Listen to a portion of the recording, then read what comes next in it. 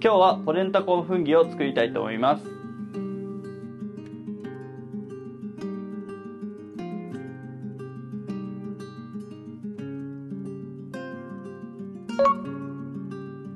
ポレンタコン粉儀ですね、まあ、ポレンタといわれるまさにトウモロコシの粉をあの、まあ、北イタリアでよく食べられる料理なんですけれども、まあ、その僕が、えー、現地北イタリアトレンティーノ・アルト・アディゼで食べた、まあ、このポレンタにこのキノコが乗った料理が非常に美味しかったので、まあ、今回それを作っていきたいんですけれども、まあ、特徴としてはやはりこのポレンタですよね。水とちょっとの塩分でシンプルに作って、まあ、そこにこうキノコを炒めてまあ、上に乗せて食べるんですけどやはりこのポレンタのその柔らかな美味しさですよねが非常にいいので、まあ、この寒い時期もちろんあの肌寒い時期でも、まあ、もちろん夏でも食べたりする料理なんですけども、まあ、これをシンプルに今回はポレンタコン粉儀を作っていきたいと思います。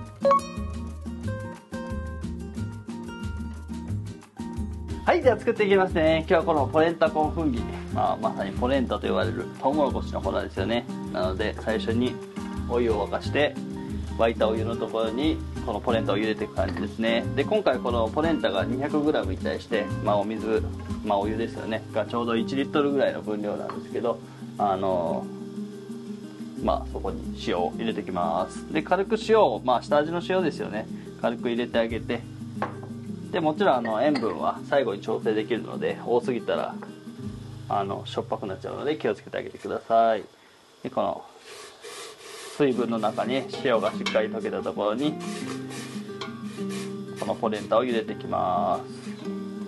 でこのポレンタを入れる時茹でる時は以前もお話ししてるんですけどこの必ずお湯をちょっと対流させてあげて、まあ、ちょっと混ぜながらってことですよね。でここにこのポレンタの粉を入れてあげます。でこのポレンタの粉はこの一気に入れてしまうと結構ダマになりやすい食材なのでまあ少しずつしっかりこう全体を混ぜながら、まあ、ダマにならないようにってことですよね。こうゆっくり入れてあげたらいいかなと思います。で今火にかけながらやってますが必ずこの熱いお湯の中にこのまま加熱してあげる感じですよね。でこれ全部入れちゃいますね。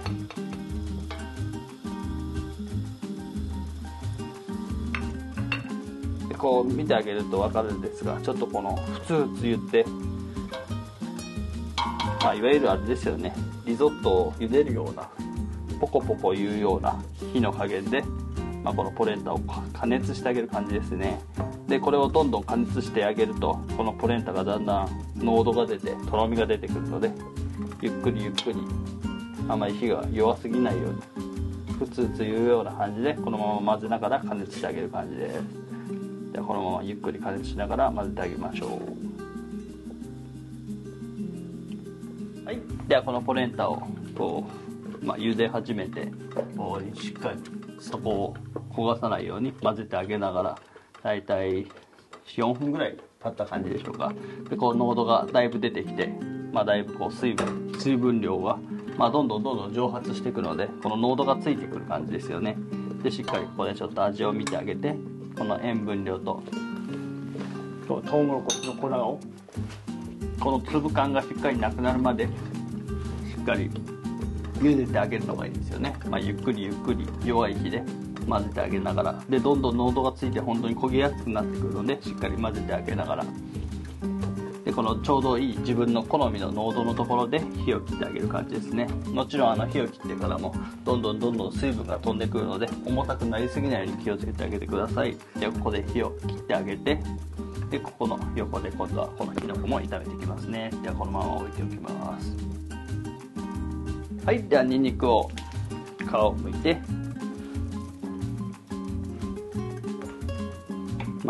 つもの粗みじん切りの感じでザクザクと切ってあげてフライパンの中に入れてきます。ここにオリーブオイルと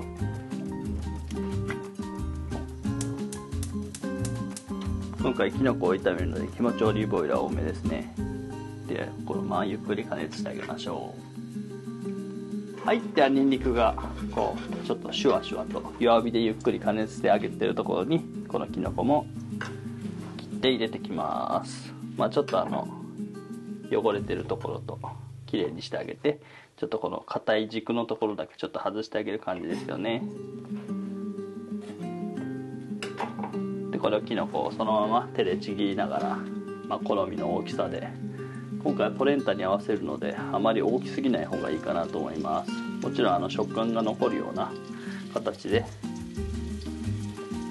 まあ、小ぶりの感じでちぎってあげるのがいいんじゃないでしょうか。もちろん好みの感じでやってあげたらいいかなと思います。できのこをどんどん一緒にこのにんにくと一緒に炒めながら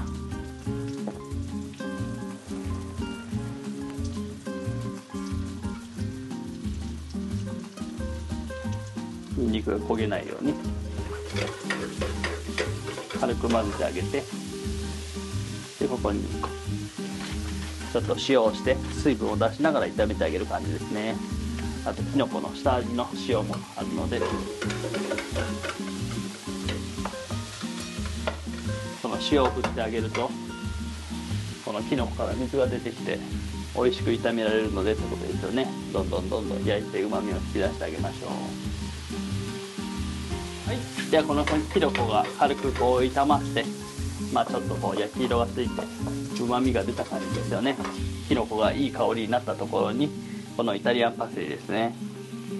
ちょっとこの軸のところを外してあげてこの刃の部分ですよね。を刻んで入れていきます。まあいわゆるトリフォラーティですよね。このニンニクとプレッツェーモと塩ときのこを炒めてまあ旨味を引き出してあげる感じですね。でこの刃物このイタリアンパセリを切る時はいつもお伝えしてるんですがしっかりこの刃を潰さないように断ち切るような感じで刻んであげるといいかなと思います。ではこのイタリアンパセリを全て一緒に炒めながらここでしっかり油分が少なかったらこのオリーブオイルを補ってあげたらいいかなと思います。それぐらいしっかり潤った油分の中に一緒に炒めてあげると香りが出ていいですよね。でここに軽くイタリアンパセリを加熱したところに軽く水を入れてあげてちょっとこの水分の中にうまみをきのこのうまみですよね。ちょっと出してあげる感じですね。でこのままちょっと加熱してあげながら蓋をしてこのきのこの香りを生かす感じですね。でここで水分が軽く飛んで状態がいいところで仕上げて盛り付けていきます。はい。ではこのきのこの水分が飛んだ音がするので蓋を開けてあげてあここでしっかりこの水分を飛ばしてあげる感じですよね。ではこの感じで盛り付けていきます。はい。ではこのポレンタをまあ、最初に作っておいたポレンタですよね。ちょっと混ぜてあげて、まあ、しっかり乾いてないようになじませてあげるのがいいですよね。ではこれを盛り付けていきます。まあ本当にポレンタをお皿に豪快にのせてあげて。まあもちろんこの量は好みなので自分の好みの量をのせてあげてください。の上にあの作ったきのこですよね。ちょっとなじませながらちょっと上にのせてあげて。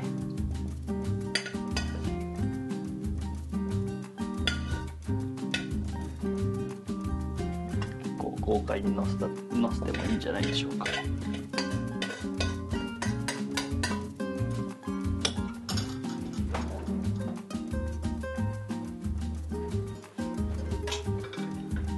仕上げにオリーブオイルをかけて。